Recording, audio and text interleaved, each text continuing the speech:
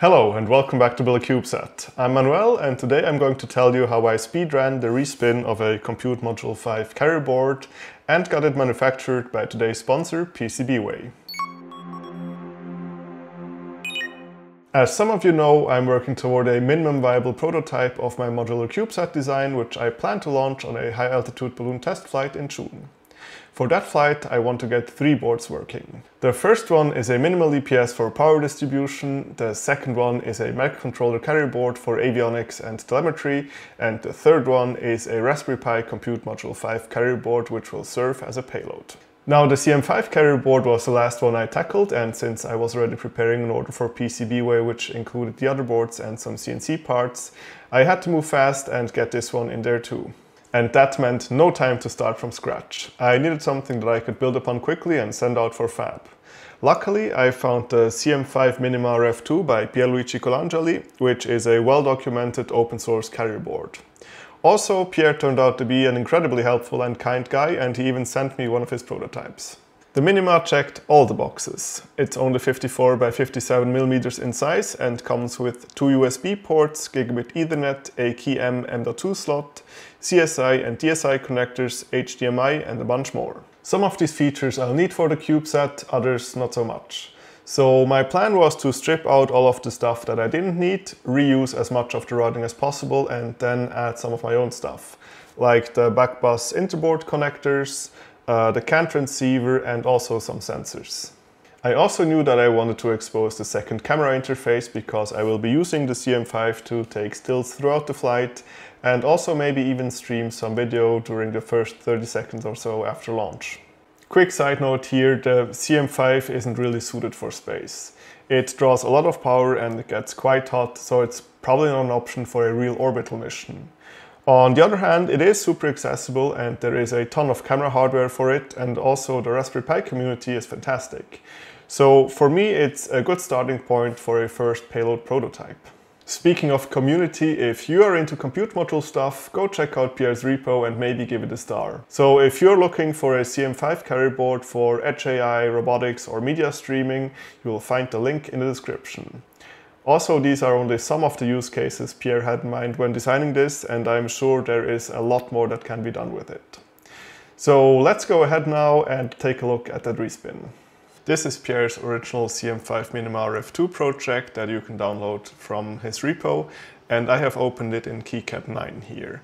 Now, just to be clear, I have never actually respun a board before, so I'm not claiming that this is the best way to go about it, but it worked pretty well for me. The first thing I did was um, deleting everything I knew I wasn't going to need from the schematic. And Pierre had used hierarchical sheets here, which made this step a lot easier. So I only kept one USB-C port, so this one can go. And also we are not going to need the HDMI. Let's jump into this I.O. sheet here. Um, we are not going to need the SPI connector broken out. Same goes for the I2C connector. This is the fan connector. Actually, I did keep this and I broke it out to pads. So let's just delete the connector itself here. I did keep the activity, did I keep the activity LED? I think so, but I didn't keep the power LED. And this down here is the humidity sensor, like the environmental sensor, so we're not going to need this one. Yeah, um, the power buttons I'm going to change later on. I think that's it for this sheet. Next up CSI and DSI, that is just a connector, that's gonna stay of course. And then in the PCIe sheet, um, we see that there is a separate buck converter down here for 3.3 volts because the CM5, the CM5 has an onboard 3.3 volt buck converter, but it can only supply, I think, up to 600 milliamps, which may not be enough for some um, PCIe M.2 cards. So what Pierre has done is he included a separate 3.3 volt buck converter down here. But since in the CubeSat design we have centralized um, 3.3 volts from the EPS, we are not going to need this buck converter. And I think this is all for the, the deletion, at least, you know, the, the rough parts of it. Of course, this process took me a bit longer the first time around, and I'm also only just showing the rough um, workflow here. So yeah, but let's jump over to the board now and see if we can update the board from the schematic. Um, let's then choose delete footprints with no symbol and delete replace footprints even if locked. And we run this and just see what happens. And as we can see now, we have a lot of orphaned footprints, uh, a lot of orphaned traces, I mean, because we have just deleted a bunch of footprints. Luckily, um, KiCad has a built-in tool to clean this up. So let's go now to Tools and then Clean up tracks and vias. And here I basically checked all the boxes except the top one and hit Build Changes, which will give us a preview of the changes that um, this tool would like to apply. And as we see here, it's just a long list of tracks that are going to be deleted. Then we can hit uh, update PCB and pray that KiCad doesn't crash. And it's working, and it actually worked. Um, nice. So what you would do next is go through the board with a fine comb manually and basically delete all the leftover um, tracks and vias that the automatic tool didn't catch. And make sure that you only have that stuff left that you're going to need. I also deleted the real nice silkscreen art Pierre made with KiBuzzard and that honestly broke my heart a little but I needed a clean slate. Um, here you can just use the interactive deletion tool to make quick work of this. I just realized that somewhere around then I also rotated the whole thing by 180 degrees um, because I'm trying to keep the all the connectors on the um, X Plus side of the board, so X Plus head of the satellite. So the way I did that is I selected everything, including the locked items, then went to positioning tools, move exactly, um, override locks, and then just type in 180 in the rotate box and hit OK. And I think this did the trick. Once that was done, what I did next was deleting the edge cuts and bringing in the DXF I had exported from Fusion. I then try to move the edge cuts so that the CM5 is roughly in the center of the board. Now this is actually a good moment to lock everything that you don't want to move around anymore. And uh, the way I do this is to select everything and then unlock it first and then go through it one by one and hit L to toggle the lock status. And as you know, KiCad by default shows these purple boxes around items that are locked. And honestly, I find these kind of distracting. So what you can do is go to the appearance panel and then to objects and turn off the locked item shadow, which makes it much easier to see what's going on. With the cleanup done, it was time to start part two of this respin, which meant changing what's necessary but not adding any new features yet, and keeping as much as possible of the routing in place. Let's quickly step through what this entailed.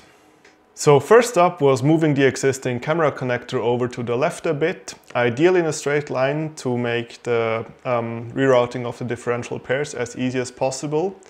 Quick tip here, if you press M and then one of the arrow keys, the mouse movement is also constrained in that uh, direction. Next up was extending the M.2 footprint to also accept 2242 modules, which we could do because we got rid of that 3.3 volt buck converter that would have occupied that area up there.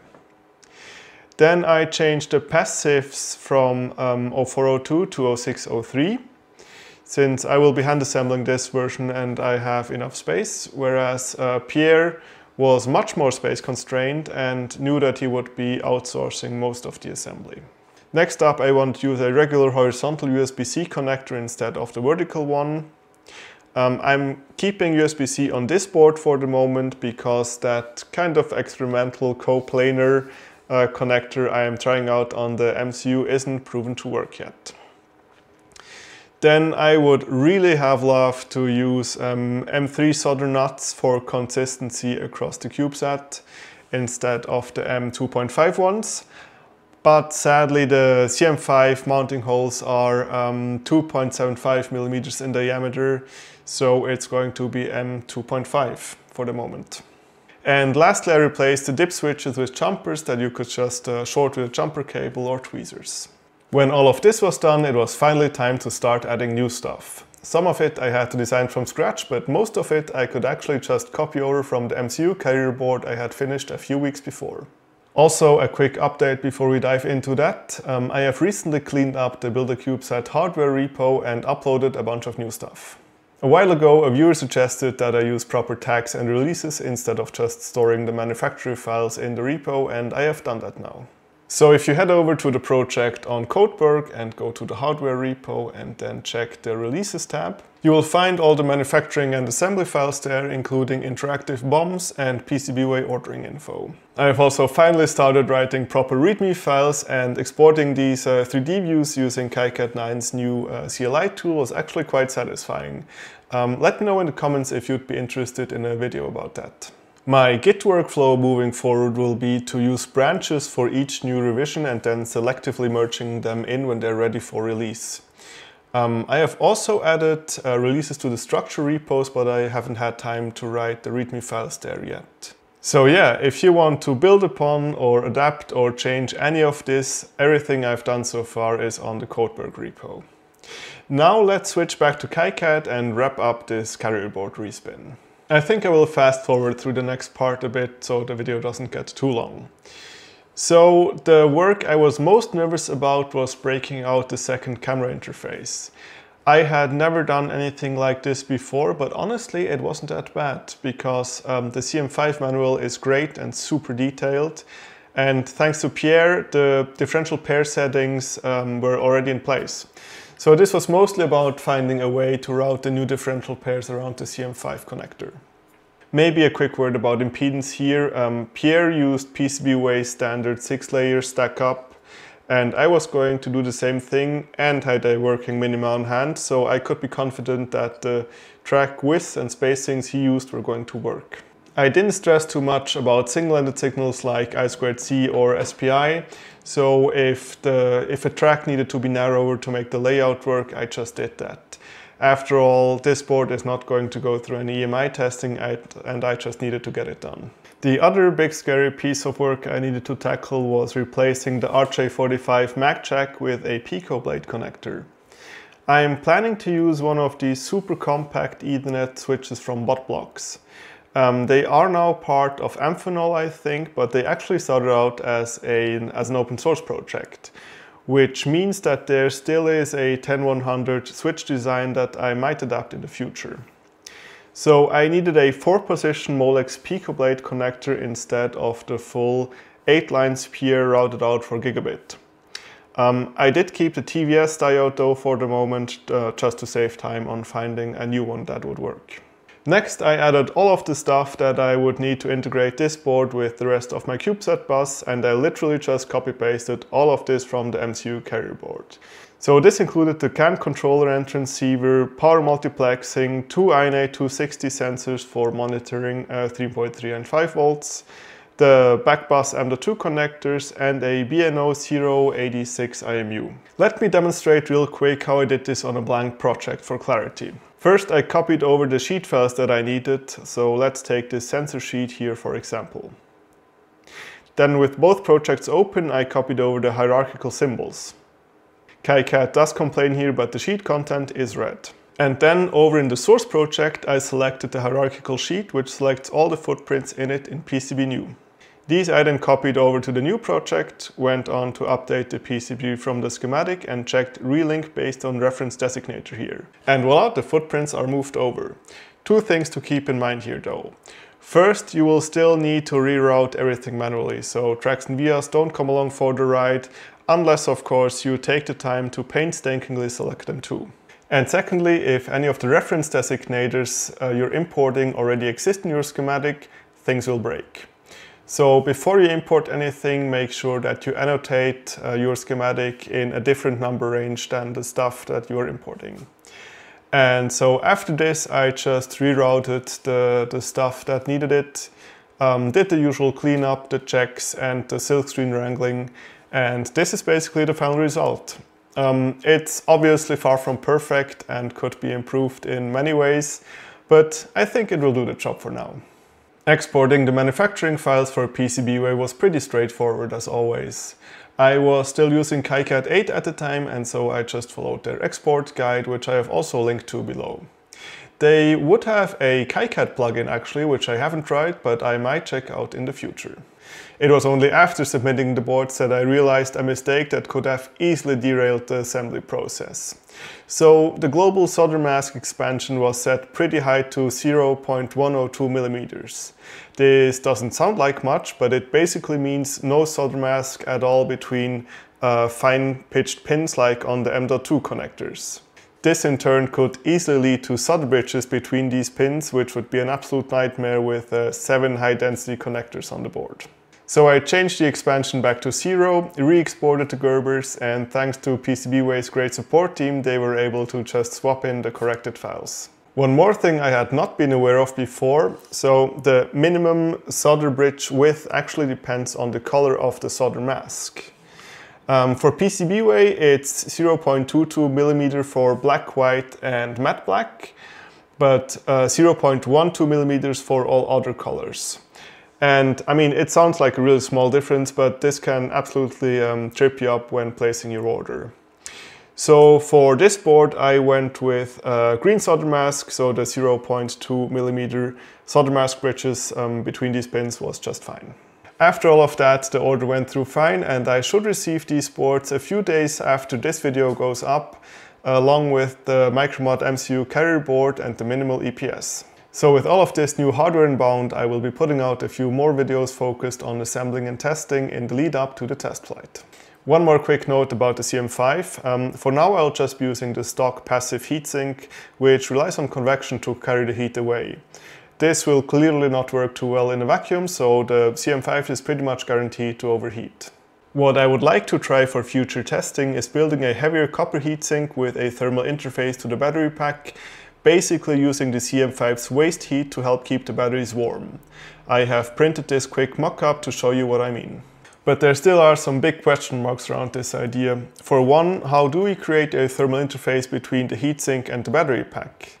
There are vacuum-rated thermal greases like this Apiezon H, but they are hideously expensive.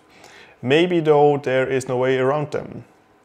And more generally speaking, does it even make sense? Because the waste heat from the CM5 could be way too much for the battery pack or not enough to even make a difference.